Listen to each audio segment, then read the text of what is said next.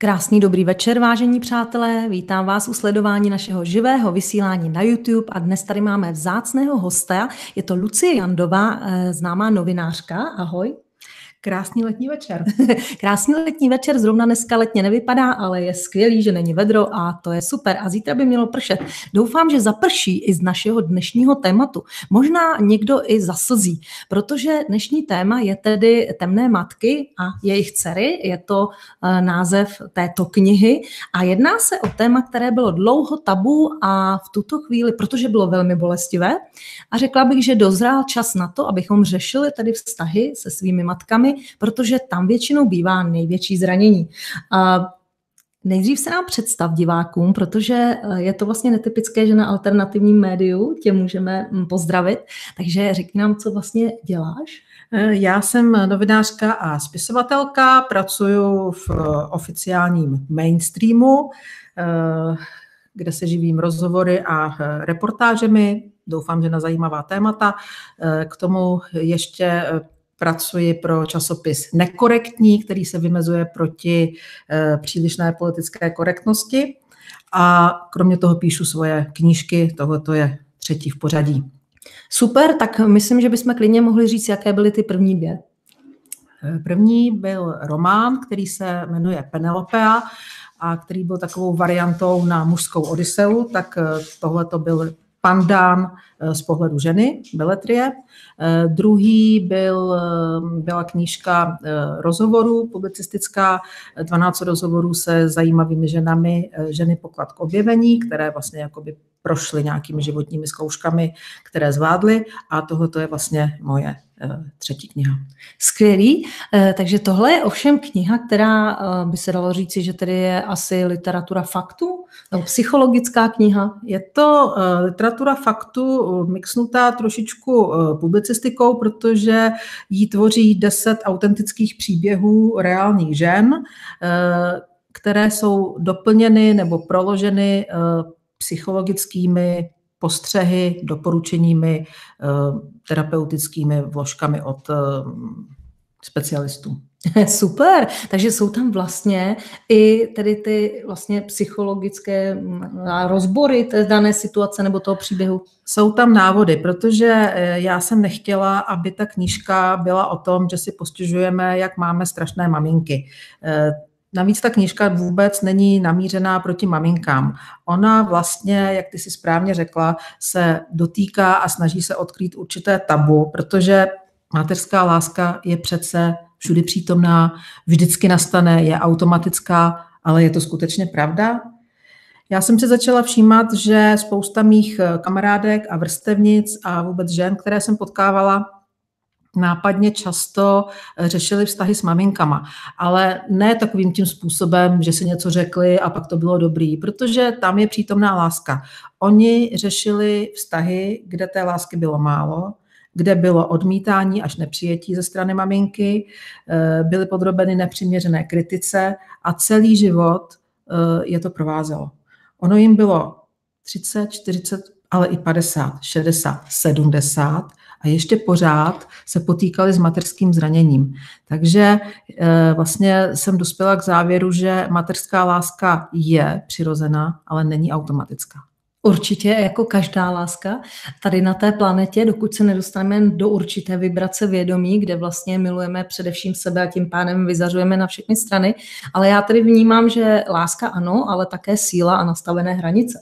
A to právě třeba lidé, kteří mají toto zranění, ty hranice nedokážou nastavit. Hmm. Ale moje otázka zní, jak jsi se k tomuto tématu tedy dostala první kniha, román a potom tedy takováhle eh, velmi kláda, by se dalo říci, kláda psychologická na velmi silné téma.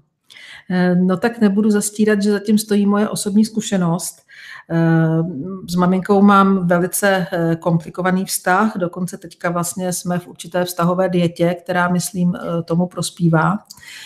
Nicméně já jsem dlouhou dobu s maminkou určitým způsobem jakoby bojovala, potom jsem se snažila být ta hodná dcera, tvořit tu rodinu, všechno bylo špatně, takže jsem pochopila, že na to musím mít trošičku jinak, tudíž jsem se rozhodla to zkoumat, co to je vůbec jakoby za fenomén a jak říkám, zjistila jsem, že nejsem sama, což si myslím, eh, že je jeden z přínosů té knihy, protože já jsem dostala opravdu, a nebudu přehánět, stovky e-mailů, kdy mi ty ženy eh, děkovaly, že nejsou sami, že prostě se tak styděli vlastně o tom mluvit, přiznat si, že vlastně třeba je vlastní máma nepřijímá a teďka najednou zjistili, wow, ono se to děje, eh, že to doufám přineslo úlevu.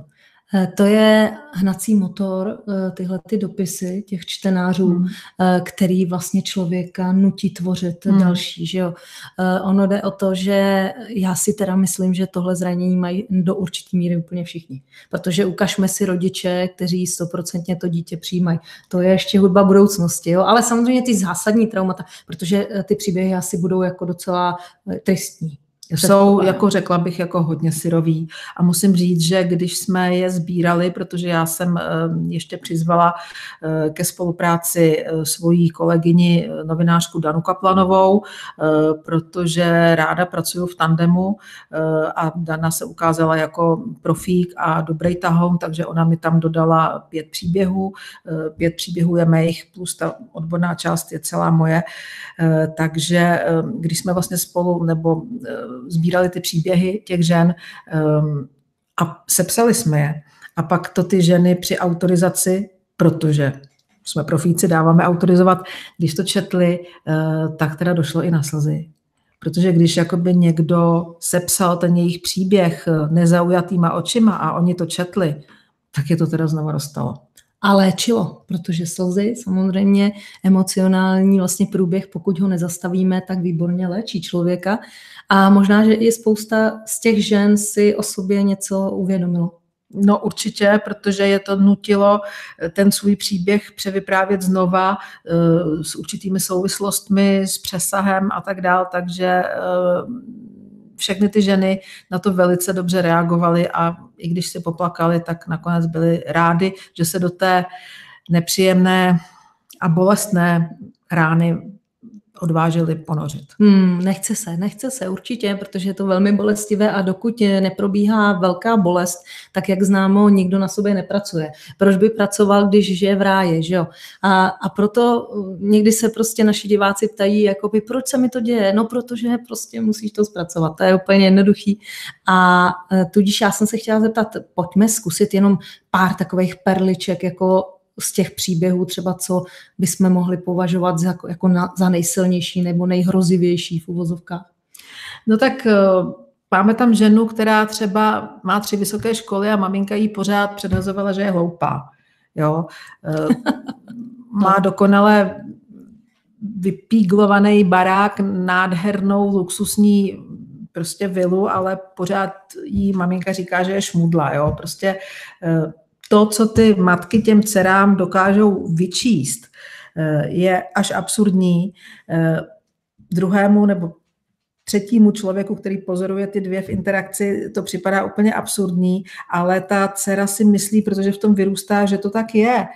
Eh, ono je to dáno hm, tou velkou intimitou vztahu matka-dcera, protože vlastně není podobnější a těsnější, těsnější vztah než matka-dcera. Takže ta podobnost může svádět k tomu, že maminka své nepřijaté stránky lehce může projikovat na tu dceru. Takže to, co ona u sebe nepřijímá, vidí na té dceři a rázem, pokud není maminka vyrovnaná sama se sebou, eh, tak je prostě oheň na střeše. A to byl tedy i můj případ, protože moje maminka ehm, kterou teda já musím označit za svoji největší učitelku, jo, protože i když, eh, jak říkám, eh, náš vztah je velice složitý a momentálně se nestýkáme, tak ona naprosto jasně vytyčila hranice, eh, které se nepřekračují a já sama mám dvě dcery. A nejsem si jistá, jestli, kdyby mi nedala tyto mantinely, jestli bych ty hranice třeba nepřekračovala taky, protože ono to samozřejmě není tak, že zlé mamince se narodí hodná dcera. Ne, ono nás něco spojuje, vlastně tu temnotu máme společnou. A já jsem si díky hm, příkladu, byť negativnímu své matky, eh, mohla podívat na svoje vlastní stíny a doufám, A teďka, jestli mě vidí moje dcery, tak se možná smějí. Doufám, že určité chyby neopakuju. No a na to jsem se chtěla právě zeptat. Jak moc třeba zkoumání toho tématu v rámci té knihy ovlivnilo tvůj postoj eh, vlastně k výchově dcer, třeba i, samozřejmě oni jsou už větší, že jo, tak, nebo dospělí, tak eh, jako když třeba zpětně to vidíš, jako našla si ještě nějaký rezervy v té výchově? Určitě, určitě, že musím být ještě, ještě laskavější a ještě tolerantnější a ještě víc přijímající, což neznamená, že bych eh, nestála na pozici určitý kamarádky, proto, teda autority, protože uh, já si nemyslím, že by uh, matka a dcera měly být kamarádky, i když samozřejmě tento aspekt je tam přítomen, ale přece jenom matka je matka. Matka uh, nám dala život, dala nám mantinely v tom životě, v tom lepším případě je to, prostě měla by zůstat autoritou. Takže samozřejmě rezervy tam jsou vždycky, ale uvědomila jsem si, že jsem taky pod vlivem toho, co mi přišlo normální, udělala určité výchovné chyby. A že tam, kde třeba moje dcery čekali, že s nimi budu mít soucit, tak eh, já jsem v těch situacích nebyla stoprocentní. Jo. To je mi jasný a dneska bych to udělala jinak. Nicméně se těším, až budu mít vnoučata, že jim to všechno vynahradím. Ale tak to je zase úplně jiný vztah. Babička, vnoučata většinou ano, rozmazluje, že jo. Ale tak eh, ono totiž, pojďme se vrátit ještě vlastně k takovému tomu fenoménu té rodové linie, hmm. protože ona třeba, když my jsme vzali tvoji maminku, tak ona to taky někde objevila, nebo takhle, taky někde to vytrpěla od někoho, a ono se to tak předává a někdy bývají i silný ty příběhy, jako u nás například, že umřeli muži ve válce a ono by se to tam vys, vys, jako vysledovalo třeba v tom rodě ještě něco. No, já si myslím, že teda eh, zrovna v tomto případě, byť obecně máš pravdu, to nefunguje, protože moje maminka to měla jinak. Eh, ona eh, vyrůstala v naprostém přijetí, obklopená láskou a milující rodinou. Jenomže v určitém věku za nepříjemných okolností zjistila, že ta rodina není její biologická Aha. rodina. Hmm. Hmm. A ona vlastně zjistila, že je biologickým potomkem ruské zajatkyně, která se narodila za války v koncentračním táboře a která jí z důvodu přežití dala k adopci, když jí bylo třeba týden, čímž jí samozřejmě zachránila život.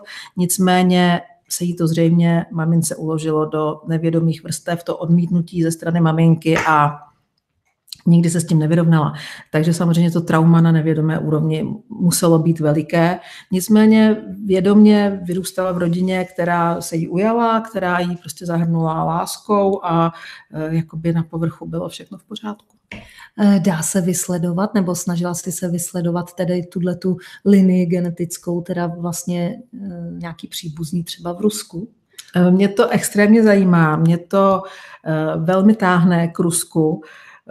Když jsem si na to stavěla konstelace, tak s tou ruskou babičkou jsem cítila ohromné propojení. Dokonce já vím, jak se, pouze vím, jak se jmenovala a kdy se narodila, takže máme i velmi podobný horoskop, eh, ona je ve stejném znamení jako já, eh, má stejně postavenou lunu, takže tam je velká jakoby zpřízněnost, no nicméně dostat se do ruských archivů je v tuto chvíli nemožné, takže já o tom rodu, o téhleté eh, větvi ruské nevím vůbec nic, nevím, kde jsme se vyvíjeli po dlouhá léta, nemluvě o tom, že o tom, kdo byl biologický otec, nevím už vůbec nic, jo. Hmm. takže je to tajemství. Je to tedy fascinující, ale naštěstí existují takové metody, jako jsou konstelace, kde člověk může aspoň no. nacítit a propojit se. Myslím, že mnohem horší by bylo, kdyby vlastně nikdy nedošlo k ty informaci, protože co teda znám v rodinných konstelacích, tak nejhorší je zatajení, kdy vlastně je popřen ten rod a tím pádem se ten rod snaží někde jako velmi silně ukázat a může to být i jako nepříjemný, že se demonstruje vlastně to, to, to tajemství až, až někde silně, takže aspoň, že ta informace tedy je. Tak to je super. A když by se na to podívala očima svých dcer, co ti na to řekli, když si dělala takovouhle knížku? No, musím říct, že moje dcery k tomu měly nejprve ambivalentní vztah, protože oni samozřejmě, jak si správně řekla, s babičkou mají vztah trošičku jiný. Mm-hmm. Babička je přijímala o trochu víc než mě, i když poslední dobou, jak tak teďka se to všechno zahušťuje, je to taky takový různý, ale nicméně uh, oni nevěděli vlastně, když viděli ten název temné matky, jestli teda uh, si tam nebudou vyřizovat účty jakoby se svojí maminkou. Oběť, nebo tak, poloha oběti. Poloha oběti a tak dál.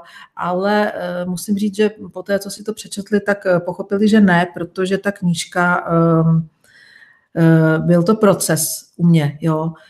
Já jsem si musela taky sáhnout na věci, kam jsem si nikdy sehat nechtěla. Eh, a myslím si, že výsledek je ten, že ta knížka rozhodně není proti těm maminkám, byť temným, ale staví se za ty dcery protože ty eh, dcery eh, potřebovaly se pozvednout, eh, docenit, říct jim, nemusí to být vaše vina, že vy se takhle cítíte, je to v pořádku, vaše maminka měla problém. To neznamená, že ty dcery si svoji temnotu nemají zpracovat, ano taky, ale ta knížka se staví jakoby za, za ty dcery. Tam v podstatě jde o principiálně vysvětlit ten psychologický mm, proces, jak se to stane, že někdo je chladný, že někdo prostě nepřijímá a když to člověk vlastně pozná, jak ten systém funguje, tak eh, v tu chvíli už nemusí nikomu nic vyčítat a nemusí mít vlastně v sobě zapouzdřený ten pocit prostě toho nepřijetí, protože skutečně eh, to se stává na mnoha úrovních, mnoha rodinách, no a prostě se to stalo takto a můžeme přijmout. Můžeme přijmout, když ale víme, jak jak se to stalo. A e, došlo třeba e, k přijetí jako e, třeba i u těch ostatních žen, když, když teda se psali ten příběh, máš nějaký zpětný reakce i z těch ostatních příběhů? Bohužel nemůžu říct, jako koná se happy end, matky a dcery si padly do náruče, velmi bych si to přála, ale nestalo se tomu tak. Naopak mám zpětnou vazbu od těch žen, co mi píšou, že maminky jenom třeba zahlídly tu knížku položenou u dcery na nočním stolku a co to máš, no to je strašný, co to je tam za ženskou a tak dále. Jo. Prostě vůbec nechtěli, no, odmítali, prostě zatímco ty dcery říkali, mě si ta knížka přitáhla, jo, jako v knihkupectví, já jsem vůbec nevěděla a okamžitě uh, jsem věděla, že ji potřebuju, tak ty maminky ji naopak jakoby velmi odmítají. Protože se bojí samozřejmě, že by prostě, bojí, no. jo, ale je to pravda, že pokud to není psaný v poloze oběti, tak eh, to může velmi pomoct. Byly takové knihy, já si pamatuju, tak před nějakými 15 lety Olga Somerová, myslím, hmm. napsala a byly to knihy zase o ženách, které jsou týrány manžely a tak dále. A to byly taky podobné příběhy a já jsem to taky tehdy četla a říkala jsem si, tak do tohohle toho se nesmím nikdy dostat. Hmm. A mě to pěkně odstrašilo. A ještě jedna kniha, která, kterou mi dala paradoxně přečíst máma, která mě velmi ovlivnila a to je Bez dcerky neodejdu mm-hmm. jestli to neznáš. Ano, ano. Takže v tu chvíli mi bylo jasno, prostě jakého manžela si jako nenajdu, jo? že tedy tudy cesta nevede. Takže to jsou takové výchovné knihy. No, tak no a možná dala hezky. neškodilo by. Pak jsem viděla i ten film samozřejmě. Je to velmi zajímavý, jenom drobonká vsuvka, že zrovna mi dneska volal kamarád, který je v Teheránu. Ta kniha byla o Teheránu, nebo že zavlečená manželka americká s dítětem do Teheránu a e, je tam zadržený ten kamarád, protože ho nechtějí vlastně e, pustit zpátky domů. Jo, takže na konzulátu je, bude to, bude to další, jedno z dalších vysílání, nicméně e, vlastně Irán je velice země vyspělá, kde mají třeba v každém druhém městě metro. Jo, třeba v Teheránu je obrovská síť metra. Jo, Jenom Perzie. jako fascinující. Ale e, o tom nemluvíme dneska. Dneska si povídáme o temných matkách a jejich dcerách. A já bych tedy, aby jsme na to nezapomněli, Jistě chystáš nějaké pokračování nebo nějakou další knihu? Chceš o tom mluvit? E, ano, určitě se k tomu dostanu, protože vlastně um, ty ženy se mě, některé z těch, co mi psali, se mě ptali, jestli tedy uh, připravuji i téma otců. Hmm. A já jsem si říkala, když jsem tedy řekla A, matky, no tak eh, řeknu i B a ta rodičovská zranění zkusím zpracovat i z té druhé strany. Takže já teďka uh, chystám knihu a zase tedy v tandemu uh, s Danou Kaplanovou o otcovském zranění a pracovní název, který ale zřejmě už měnit nebudu, je První muž, který mě zradil, byl můj otec. Mm-hmm. Tak ono to nemusí být jenom vlastně o té zradě a tak jsme si povídali před vysíláním, no těch knížek bude ještě víc asi. Nemusí to být jenom o zradě, ale může to být třeba i o tom nepřijetí jako takovým. A pak máme ještě kombinace temné matky a jejich synové. Ano, ano. jako rodina skýtá nepřeberné množství těchto jakoby variant. Nicméně já bych si potom ráda vydala ten svůj beletristický román, protože přeci jenom eh, publicistika dobrý, baví mě to všechno, ale taky cítím, že bych měla se vyjadřovat ještě jiným způsobem. Nicméně i v té knížce o těch ocích bych ráda zopakovala eh, ten model, který jsem použila tady, to znamená autentické příběhy žen a, a to tady nezaznělo a to je důležité, já jsem vlastně do té mm, spolupráce přizvala uh, lidi, terapeuty, kterých si velmi vážím a kteří měli k tomu tématu tématu temných matek co říct. Takže mě tam třeba uh, mluví Ramona Siringlen. Tak, nebo eh, píše teda spíš. No, já jsem jí vyspovídala a napsala, ale jsou to její. Tak jako Ramona. Ramona, paní Helena Heclová. Helena. Uh, Jiří Maria Mašek, mm-hmm. Vojta Franče, vynikající mm-hmm. terapeut a psycholog. No a doufám, že jsem na nikoho nezapomněla. Eh, takže oni tam vlastně eh, ze svých úhlů pohledu eh, mluví k téhleté tématice. Ramona velice zajímavě tam hovoří o řevnivosti a konkurenci mezi matkami a dcerami, hovoří tam o modelu sněhurka a popelka, který vlastně to mateřské zranění může způsobit. Paní Helena Heclová tam zase hovoří o rizí ženské temnotě mm, v podobě vlastně archetypu Babi Yagi, což mm. je archetyp, který vlastně také zpracovává Vojta Franče ve svých, eh, ve svých konstelacích a ve svých článcích, eh, což je vlastně archetyp rizí ženské temnoty. Jo. Eh, takže toho se tam velice dotýkáme a vlastně jsme i na to téma těch rodových línií a vztahů mezi matkami a dcerami nechali postavit eh, čtyři eh, konstelace. Eh, jedna z nich se týká rodových línií a ne jak se vlastně ten vztah matka-dcera vyvíjel v průběhu věku. To znamená, že vlastně my jsme přišli na to, že to, že teďka tady řešíme nějaké emoční zranění, je ohromný luxus, protože si to můžeme dopřát protože dvě světové války a předtím prostě vůbec ten vývoj nedovolil eh, se zabývat něčím takovým, jako jsou emoce. Nebyl to byl čas. boj o přežití v podstatě ve feudální společnosti. A ty dvě světové války, kdy vlastně lidstvo vypustilo svoje démony, se kterými se potýká doteď, s tím pořádně zamíchali, eh, takže to je, myslím, docela zajímavý. Eh, pak jsme tam řešili vlastně vztah eh, matek a dcer eh, v různých vybraných kulturách, které nám přišly zajímavé, takže to tam srovnáváme s Moravou, se Slovenskem, s Ruskem a s Afrikou, kterou mm. bereme jako takovou taky archetypální kolébku prostě možná i té temnoty nebo těžko říct. Takže je to, to je prostě jiný kraj, no. mají jiné moresy, by se dalo říct. Že? Ale ku podivu, tam se ten Ale... vztah matka-dcera uh, ukazuje jako velmi zdravý. Hmm. Jo. A na Moravě třeba je to taky jiný než v Čechách, uh, takže to jsme tam taky řešili.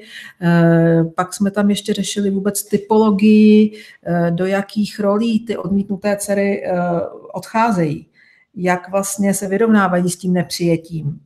Oni někdy jdou do toho, že naopak se matce totálně podřídí a žijou její život a plní její cíle, aby nebyly odmítnuty. Takže nežijou svůj život, ale žijou život maminky. Jo? Takže tam typologie těch odmítnutých dcer je tam taky zpracovaná. No, takže jsme se to snažili opravdu zevrubně zmapovat tenhle ten fenomén. Knížka vypadá útla, ale je nabitá informace. No to rozhodně. Je tady několik diváků na chatu.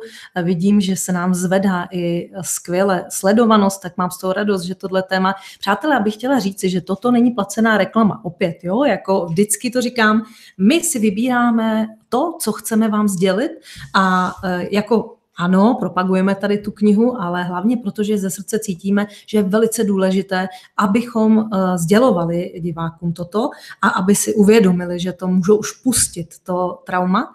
No a jinak spousta diváků tady tedy píše, například paní Romana píše krásný večer, přeji knihu, jsem si zakoupila, přečetla jsem jedním dechem, eh, jsou to velmi silné příběhy, eh, řeším si také vztah s maminkou, kterou jsem velmi milovala, i když už je v nebi. Super. A potom děkuji svojí mámě, paní Veronika píše, za všechno, co mi dala a a i vyčítala. paní ze Slovenska. S odstupom času to všetko chápem a aj chyby, ak bolí, nevadí, treba to prijať. Takže to jsou takové hezké reakce. Samozřejmě mm, dívají se na nás spousta dalších lidí. Přátelé, klidně nám napište, jestli jste knihu četli, anebo jestli vás toto téma oslovuje. Napište nám do chatu, rádi si poslechneme nebo přečteme, co, co k tomu máte, nebo jak vás to vlastně vnitřně zasahuje. Eh, já to téma řeším taky samozřejmě a je docela vtipný, že si pamatuju, že babička teda eh, maminka mojí mámy, tak to vždycky, ona byla nesmírně hodná. Jo. Ona byla snad z nějakých devíti dětí, byly chudý velice a to byla prostě jedno z posledních dětí a byla nesmírně laskavá babička a všichni překračovali ty hranice, vůbec to neuměla nastavit, ale vždycky mojí mámě říkala, Ivanko, ty jsi chomout jo, v kuchyni třeba, jo, Ivanko, ty si chomout, běž od toho, jo, to byl takový slogan prvorepublikový, seš chomout, no a teďka prostě my se tomu do dneška jako s mámou smějeme, jo, když třeba by máma chtěla mě něco v kuchyni, anebo tuhle já jsem u ní v kuchyni, a říkám, vyměň si tu houbičku na to nádobí, ty si chomout. A smáli jsme se tomu, jo, že prostě jako opravdu se to předává prostě z té babičky, z té prababičky, no, jo, a co my víme, jo, já tady často říkám ve vysílání, že my víme, to byla naše babička většinou, jako ty třeba, že jo? A teďka, a ta prababička mohla být klidně carevna Romanovovna někde, jo, nevíš? Nebylo by to špatné. A moje, no, a teďka moje prababička, a já už nevím prostě, kdo to byl, že jo, a jak to hmm. tam v té rodině probíhalo, že jo, co tam bylo za věci, no ale prostě seš chomout, jako to je prostě sranda. Je dobrý se tomu smát, a uvědomit si, že už to není potřeba prostě takhle na ty věci tlačit a uh, že, že prostě můžeme v lásce přijímat. Jako jo, ale... No. Chomout probíhá, no pořád. Jenomže když řekneš eh, v lásce, že je někdo chomout, pokud je tam ta láska přítomná, tak je to v pořádku, jo. Jenomže jestliže ty maminky nejsou dosycený tou láskou a tu lásku, neříkám nic nového, nedají sami sebe, nepřijmou se, ať už pod vlivem traumatu, nebo prostě je nepřijala zase jejich maminka a tak dál, tak eh, nikdo nemůže šířit dál to, co sám nemá. No i když můžeme se to naučit právě pod eh, vlivem určitých traumatických okolností, pokud se jima nenecháme ubít a semlít a nezopakujeme slepě ten vzorec chování, eh, tak se to můžeme naučit. A mně se moc líbilo, když jsme tu knížku křtili, tak jedna z těch kmoter byla eh, paní spisovatelka eh, Zuzana Maleřová a eh, jednak přišla na to, že jsme tu knížku nekřtili šampaňským, ale polipkem, což bylo mm. moc hezké. Mm.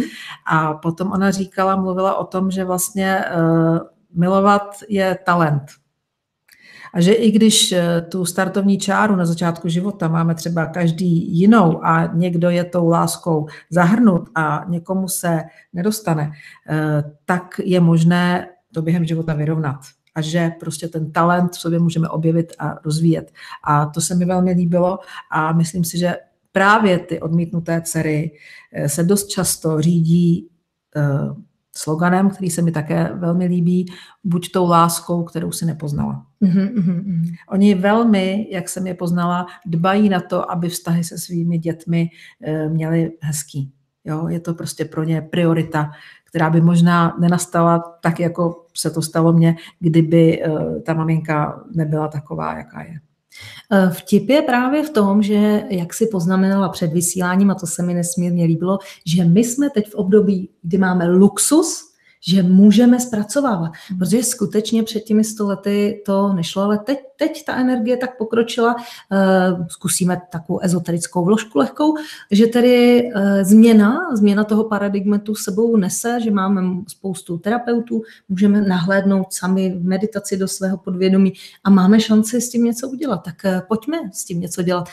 A maminkám bych hlavně doporučila, aby si knihu ještě zakoupili předtím, než třeba počnou, anebo pokud mají to děťátko ještě malý, tak eh, co nejdřív na tom zapracovat ještě, aby se to nepředávalo dál, to trauma. Určitě, jako není se čeho bát, i když máme v názvu temné matky, tak tam naopak jsou návody a i konkrétní návody, jak s tím pracovat. A prostě tu temnotu máme v sobě všichni a pokud eh, si na ní neposvítíme, tak ona poroste. Tak určitě. A pojďme ještě zmínit, eh, mě by zajímalo, když tedy dojde k tomu traumatu, tak jestli v té knize eh, je vidět, eh, jak se to demonstruje, třeba dejme tomu modelové příklady, aby jsme trochu nalákali diváky nejen na knihu, ale i na to téma, co se může stát třeba za životní peripetie. Tak vlastně tím, že ty dcery vyrůstaly v něčem, co je pokřivené, vlastně vyrůstaly v odmítnutí, no tak si nevybudují svoji identitu nemají nastavené hranice, tudíž jsou snadnou kořistí pro psychopaty. Eh, oni jsou zvyklé neustále dokazovat, že eh, si tu lásku a přijetí zaslouží. Eh, takže to dokazují, ovšem potom snadno sami sáhnou k manipulaci, protože oni se přece tak strašně snaží, no tak teď mají nárok na to, aby za to něco dostali. Je to stálý koloběh nadměrná kritika jim připadá normální. Že by si něco zasloužili jako sami o sobě, to jako hmm. pro ně je velký problém. Dopřát si, eh, polevit si, prostě ono to zní jako kliše, mít se ráda, ale ono, ono to skutečně má obsah, jo. Tak to je pro ně velký problém. Eh, jsou celý život jakoby v křeči. No, schrnu to, takže vlastně se to neustále opakuje v jejich dalších vztazích ať eh, s kamarádkami, ať v partnerských vztazích. Neustále se to opakuje, aby vlastně se jim ukázalo, co je bolí. Eh, oni můžou mít eh, kamarádky, přítelkyně, které s nimi mají konkurenční vztah, které s nimi neustále soupeří. Můžou v práci potkat šéfovou, která s nimi neustále soupeří. A oni nechápou proč, protože oni přece s nikým nemají potřebu soupeřit, ale neustále se jim to děje. Můžou samozřejmě potkávat muže, který jim eh, přehrajou ty věci, které znají z domova, můžou potkat, jak jsem o tom mluvila, psychopata, který rád využije toho, že ta žena je vlastně v pozici oběti a nemá nastaveny ty hranice, což je potom samozřejmě výzva pro tu ženu, Eh, odmítnutou dceru, si tu identitu vědomně vybudovat, vědomně si ty hranice nastavit a to teda, přátelé, musím říct, že to je potom jízda. To se začnou dít věci a je to potom všechno úplně jinak. Eh, kromě těch konstelací, eh, pracovala si třeba i na sobě ještě jinými metodami, kdyby jsme třeba divákům mohli něco i doporučit? Já jsem praktikující buddhistka, takže vlastně 20 let eh, se zabývám východními naukami. Teď vlastně jsem si k tomu přibrala ještě nevím, jestli vůbec tedy se tím mohu pochlubit eh, sanskrt, protože nejsem tak eh, příkladná studentka u pana Kozáka. Chodíš k panu Kozákovi, ale abych s Helenkou tím... jste se tam seznámili ano, ano, do ano, přesně tak takže eh, východní nauky mě samozřejmě zajímají. Eh, prošla jsem, zabývám se astrologií, takže protože mám za sebou poměrně dramatický život, tak mě zajímalo, proč se to teda všechno děje a tak dál. Takže astrologie mě zajímá, eh, genovými klíči jsem se zabývala do určitý míry, na konstelace jsem taky chodila, takže jsem tak jako postupně četla, eh, odkrývala, prožívala, eh, no a došla až sem. No ale to je spousta skvělých rad, tak eh, to děkujeme, protože určitě naši diváci se na nás často obracejí s tím, co mají dělat, kam mají a podobně, takže tady je skvělý návod. No a mě zaujala právě ta astrologie a když bychom se podívali na třeba, dejme tomu, horoskop eh, ženy, která se narodí do rodiny, kde je takováto matka, jak bychom to tam mohli vidět třeba v tom naplněním horoskopu, jestli třeba si vzpomeneš na některé ty mhm, mhm. charakterové rysy? Eh, máme tady přímo eh, rozhovor eh, v knížce s psychologem a terapeutem Vojtou Frančem, kde vlastně jsme zabrousili i do astrologických konotací, protože ta knížka je psaná tak, aby si tam každá žena mohla najít to své. To znamená i žena, které víc vyhovuje racionální psychologický přístup, tak tam najde rady psycholožky, pak jsou tam vlastně i rady pro ženy, které chtějí jít eh, trošku tou zážitkovou metodou a máme tam i tedy astrologii. Takže samozřejmě ta temnota, eh, ta, se, ta sebou nese mm, akcentované Pluto a černou lunu. Jo. Takže to jsou planety, které se vyplatí v horoskopu sledovat, pokud se chceme zabývat vlastní či matčinou temnotou. No a potom ty ženy, které mají problém s matkou, eh, tak eh, mají velmi často lunu v raku, což je tedy materské zranění, a dost často mají silně akcentovaný Neptun. protože to zase dává tu pozici oběti. Takže to mě tak napadá, co se tam nějakým způsobem opakuje v různých variantách samozřejmě, eh, takže pokud na to někdo chce jít astrologickým způsobem, tak se vyplatí zkoumat eh, postavení těchto planet. Eh, rak všeobecně, no skutečně to, to my často takhle vysíláme a co už jsem se po XT vysílání astrologické hodně naučila, i když se teda jako astrologii nevěnuju, ale zajímá mě to, tak černá luna v raku, luna v raku a vůbec tedy um, tady tyhle ty věci je dobrý si proskoumat. Někdo si může myslet, no tak horoskop, co mi to může dát, ale právě horoskop nativní v okamžiku zrození je právě psychologická mapa člověka. Mapa, přesně tak. No, takže myslím si, že to by mohl být základ takové práce na sobě, podívat se vlastně, kde mám třeba slabiny a vidět to tam. A to třeba umí Helena Heclová taky skvěle, protože vždycky jsem jí, ona dělá i jako ty astroterapie, takže všechno. Máš tady kvadrát na Pluto, to je jasný, že se ti děje tohleto a budeš mít tohle a perfektně to sedělo, takže má to smysl pracovat jako astroterapeuticky. A pracuješ taky astroterapeuticky, třeba se sebou aspoň? Se sebou určitě, jinak si netroufám na to být někomu terapeut terapeutkou, eh, maximálně možná poradím svým dcerám, pokud eh, o to stojí, ale eh, terapii se nevěnuju, já spíš vidím svůj, svoji cestu v tom, že prostě píšu a zprostředkovávám to, čemu jsem, k čemu jsem došla, ale astrologií se zabývám velmi, protože, jak si správně řekla, je to mapa. Jo? Ona to jakoby není danost, je to, je to mapa a základem toho, když člověk chce jít dál, tak je prostě sebepoznání. To jinak nejde. A to sebepoznání je nutný jít opravdu i do těch věcí, které odmítáme, protože, jak jsem říkala, ten stín nám potom začne bujet a můžeme se dočkat strašlivých konců. No určitě a on taky bují.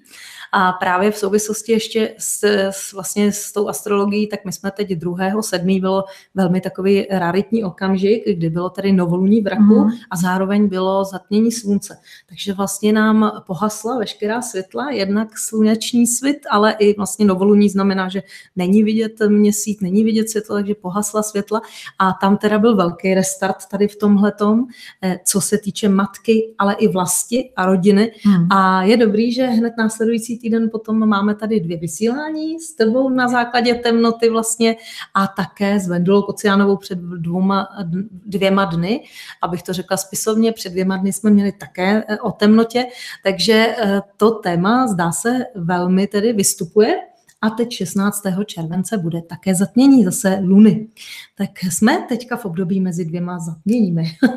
Pocituješ něco pěkného na sobě, to jako v souvislosti s těmito energiemi? No tak já mám teďka, nechci říct život v troskách, protože já se cítím jakoby skvěle, jo, ale e, fyzicky nebo ve hmotě ho v troskách mám, protože jsem ukončila eh, osmiletý vztah a m, mm, přestěhovala jsem se, takže jsem si to pracovně nazvala léto ve skvotu, jo, Krása. protože prostě jsem tam mezi krabicema a e, prostě do toho bude probíhat rekonstrukce, takže si připadám jako ve 20, když jsem e, skvotovala v Kreuzbergu v Berlíně, akorát, že tehdy prostě jsem chtěla a teďka to tak úplně dobrovolný není, ale, ale je, je to dobrý, jako vlna je dobrá, i když samozřejmě eh, to, že máme teďka zpětný chod, eh, pokud se nemýlím. Mnoha, mnoha retrográdních Mnoha planet, ale zejména teda Saturna, Pluta v Kozorohu, tak to je velká eh, vymejvačka, že jo, já tomu říkám takový karmický savo, takže jako čistíme, čistíme neustále. A ještě máme teda samozřejmě i toho Merkura retrográdního až do 31.7. Takže eh, mohlo by se dít i jako taková ta komunikační úroveň by mohla docela sládnout. A vůbec jako ten první týden samozřejmě v tom červenci se všechno zastavilo, že měli všichni dovolenou, protože byl jeden den svátek nic nebylo a potom teď už jako pomalinku se to trošku rozbíhá. Ale já jsem se chtěla zeptat, když ty jsi taková novinářka a vlastně živíš se psaním, by se dalo říct, tak eh, kde máš Merkur?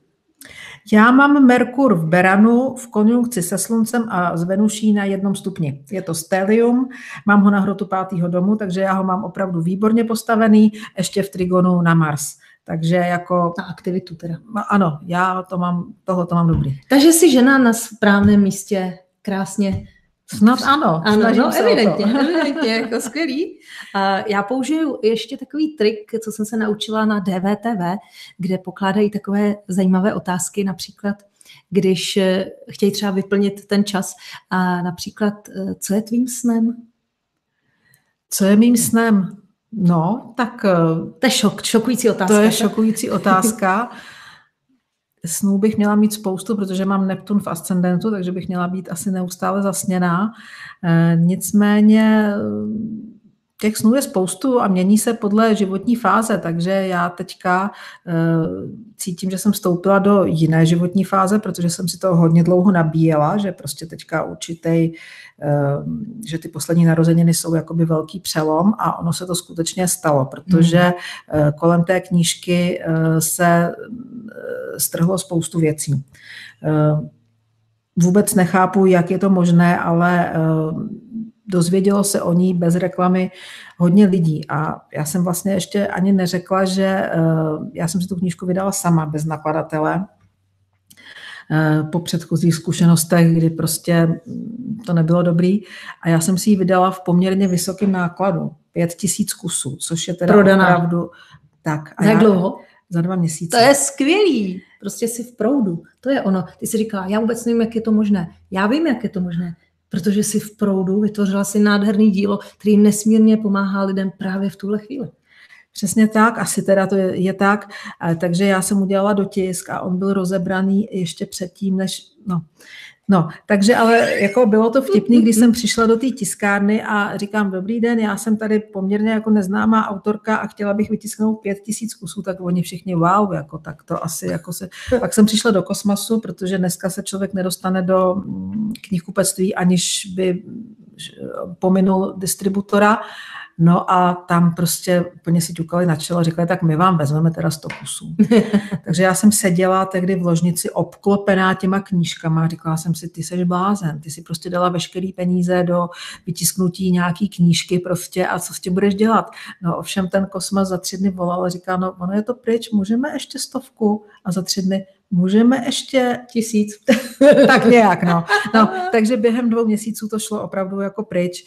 Takže tenhle ten eh, sen jsem si splnila vlastně, že, že ta knížka se dostala tam, kam má a že vlastně eh, mým snem bylo, aby přinesla úlevu, protože já přesně vím, eh, co ty ženy, které mi píší, prožívají, protože jsem si tím prošla a já jsem to psala, protože my buddhisti to máme v popisu práce, ten soucit eh, s tím, aby tu úlevu přinesla. Takže to je takový splněný sen. No a další sny jsou, taky se týkají... Další knížky. Další knížky, přesně tak, a aby, aby, aby pomáhali bytostem a aby mě to bavilo stejně tak, jako mě to baví a, a tak. Cesta Takže nekončí. tvůj sen je, se zhmotnil. Proto tě to tak šokovalo, ano. když jsem se ano. na to ptala, protože ty žiješ svůj sen v tuhle chvíli. V tuto chvíli ano, zřejmě sen určité životní fáze se naplnil. Super. Eh, já z toho mám obrovskou radost a baví mě to, že právě takovéhle knihy, eh, že to vůbec lidi zajímá, protože dnes co si budeme povídat, jako všeobecný svět je celku povrchní a že bych chtěl zkoumat své nitro, to nehrozí, ale je to taková zase jiskřička naděje, že ta společnost se posouvá dobrým směrem. Určitě, určitě, protože ještě před eh, několika desítkami let si myslím, nebylo možné, aby vůbec něco takového vyšlo. A i teda musím říct, a nebudu teda jmenovat ty oficiální média, um, mají s tím problém. Vnímají Aha. to jako kontroverzní, eh, kontroverzní téma, eh, ta dramaturgie, takže jenom díky jednotlivcům se to vlastně daří prosadit i do mainstreamu, protože spousta lidí si pod tím představí zřejmě něco špatného nebo negativního, takže, takže je to vnímáno jako, eh, jako kontroverzní téma. No tak to mě velmi překvapuje. A kde, kde jsi tedy byla? Eh, můžeš klidně jmenovat eh, jako ty média, kde jsi byla představovat tu knihu? Kde se to povedlo? Eh, povedlo se to u paní Zuzany Maléřové vlastně v nočním mikroforu. Tam vlastně je hodinový pořad je tomu věnovaný. Český, ano, rozhlas. Český rozhlas 2. Byla jsem ve snídani s novou, s kratičkým vstupem a byla jsem sama doma.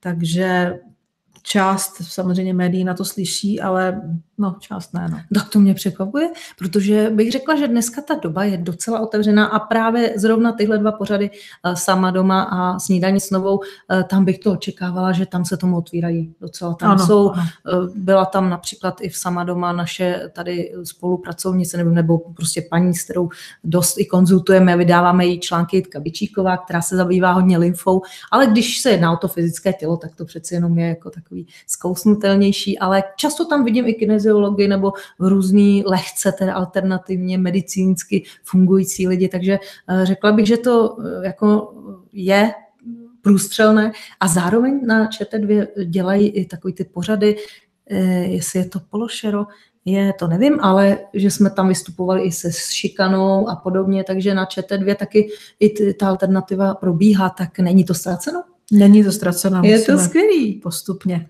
Mám z toho radost. Eh, tak a teďka ještě zpátky k té otázce, co je tvůj sen. Eh, mně by se líbilo, kdyby si zkusila se podívat na, ty, na tu globální úroveň, vlastně na tu uh, naší zemi a na tu planetu Zemi, jak by si chtěla v budoucnu žít. No, musím říct, že vzhledem k tomu, že mám vlastně dvě dospělé dcery, které jako zanedlouho um, založí rodinu za pár let, a ten náš rod bude pokračovat, tak hmm. to jakoby hodně, hodně řeším. Jo. Eh, samozřejmě, že to čistím eh, a vnímám to, že to čistím jako v rámci toho rodu eh, i pro ty následující generace, ale mám trošičku obavy právě z toho, jak to tady bude vypadat, protože starší dcera je lékárnice, Mladší dcera je právnička, nebo respektive studuje, studuje práva. A obě to jsou teda odvětví, které jsou, eh, dejme tomu, hodně zasažený současným systémem. A musím říct, že vlastně eh, moje dcery s tím jak jsou vedený a jak eh, jsou vychovaný, mají o dost jiný názory než většina jejich vrstevníků, takže to jednak nemají jednoduchý a jednak samozřejmě teda se zamýšlím nad tím, jak, jak s tím systémem výjít, protože teda už nejsem anarchistka, ale zároveň jak teda jít nějakou tou cestou světla. Jo. A je to velmi těžký, protože mám pocit, že ta realita se dělí úplně na, na dva nějaký jako naprosto tábory, eh, který se spolu nemůžou domluvit a vzdalují se čím dál tím víc. Jo. Takže eh, nedokážu si to úplně představit, zatím vím, že prostě každý na té své individuální úrovni uh, si čistí to svoje a žije ten svůj příběh a doufám, že se to prostě překlopí i do té společenské úrovně.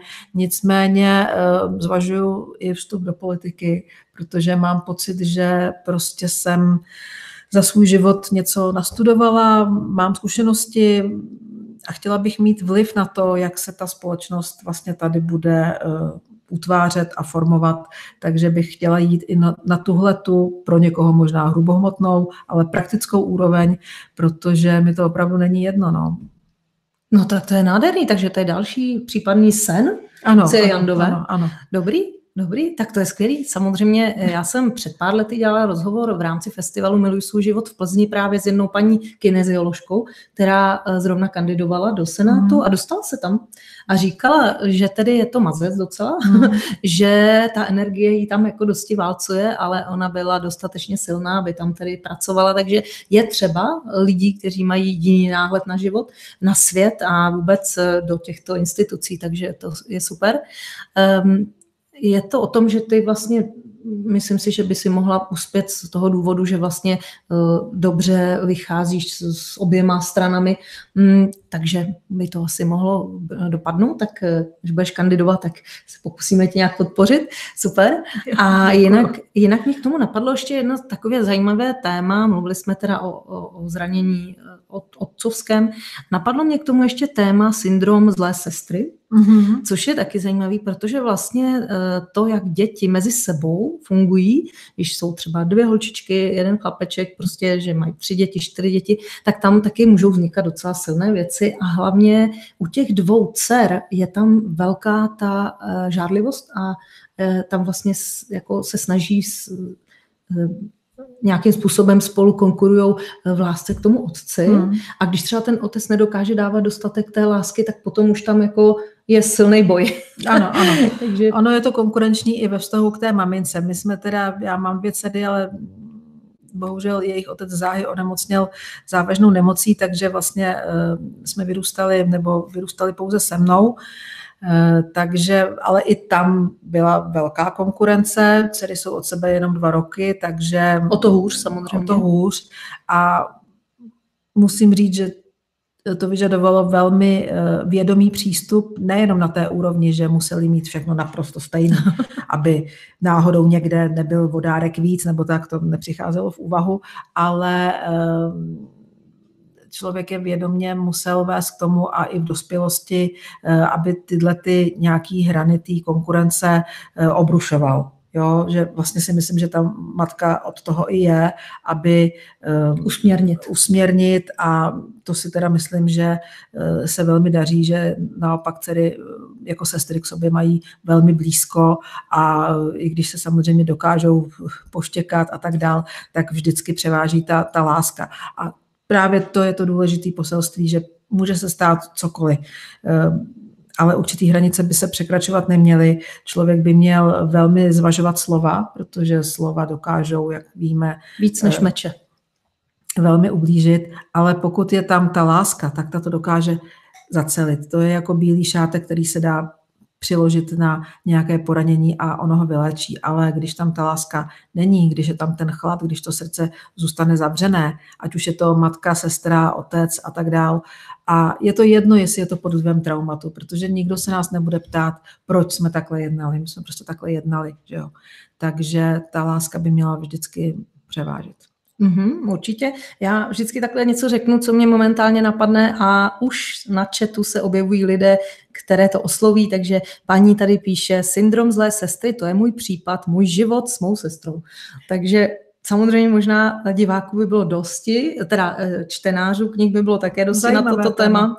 A vůbec jako ta interakce těch sourozenců je všeobecně, eh, tady jsou třeba se nabízejí strašidelné příběhy, kdy prostě se rodiče rozvedli a jeden syn šel k jednomu ano. a druhý syn k druhému. To ano. je úplně fatální. Jo, že a pak už se ani vůbec neviděli no. a je to, je to, to se prostě děje tady toto. Tak eh, da, koukneme se do četu, co nám tady přátelé píšou. Dnes moje téma. Jak jinak? Proto se na nás koukáte, proto vás duše přivedla, vy jste se koukali. Paní Jana píše dnes moje téma, když o tom hovořila Helena Heclová, oslovilo mě to. Hned jsem zjišťovala horoskop lunu i černou lunu mám v raku. Knihu jsem ještě nečetla, ale chystám se. Takže super. A je tady i několik diváků, kteří píšou, že si hned knihu dali do košíku e, někde, jako myslím na e-shopu, super. Mm. Tak a ještě jedna paní tady píše, já už od malička se tu necítím, jakože doma vím, že tu, eh, je to slovensky, takže to není snadný, nie som doma, ale prostě keď ma chápete úplně inakšie som všetko vnímala a trpěla, kde sa len dalo a teraz chápem, čo sa vlastně dělo a prečo. Jak slovenština trošku složitější, takže hezký. A ještě, eh, ještě jeden, jedno povídání tady, docela dlouhý, eh, vlastně dlouhá věta. Paní Petra, krásný večer, krásné dámy. Poměrně nedávno jsem zjistila, že, jsem, že nejsem rodičů kteří mě vychovávali a své pravé rodiče neznám. Souhlasím s tím, že milovat je talent. Hezký. Takže hezký, super. Eh, pomalu se blížíme tedy k závěru našeho povídání. Dnes bude jenom hodinka, máme téměř 500 diváků, což je skvělý a oni se podívají ještě ze záznamu hodně a mám z toho radost, že i v létě máme docela pěknou sledovanost, i když jsou všichni na dovče.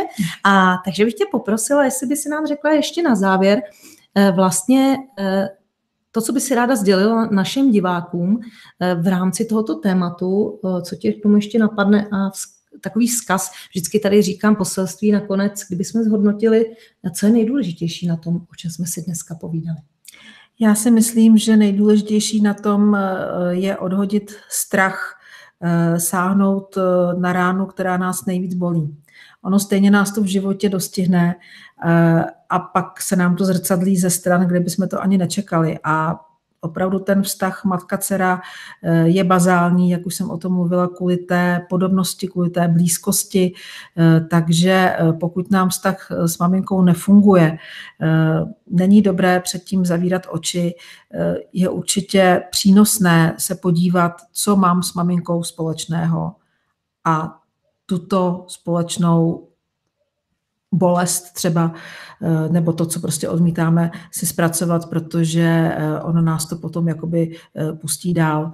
Já mám takovou zkušenost, že vlastně pokud s tím nepracujeme, tak žijeme pod takovým skleněným stropem, ale jestliže si do toho sáhneme, tak ten strop zmizí a my rosteme tam, kam bychom si to ani nedokázali představit.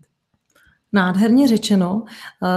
Mě k tomu ještě napadlo to, že i v literatuře můžeme najít eh, eh, takovéto příběhy velice silné, a například eh, i z traumatizovaných žen, což je klasická kniha, kniha Sofina Volba. Trošku to koresponduje vlastně s tím tvým příběhem s tvojí předkyní, že my bychom měli chápat, že ten člověk jednal, eh, třeba dejme tomu naše babička i matka, jednal prostě tak, jak dokázal, protože eh, v tu chvíli třeba ty eh, situace kolem něj byly pro nás například z dnešního pohledu nepředstavitelné. Hmm. Že i třeba ta konkurence těch, těch dětí, když třeba jsem říkala, že ta moje babička byla snad z devíti nebo z desíti dětí a matka jim umřela. A, a oni se pak, ty starší dcery, museli tedy starat o ty mladší sourozence. A to dneska už není tak eh, běžné, takže samozřejmě to sebou nese traumata, bolesti a různé věci, které jsou uh, pro nás možná neuchopitelné, ale měli bychom je respektovat.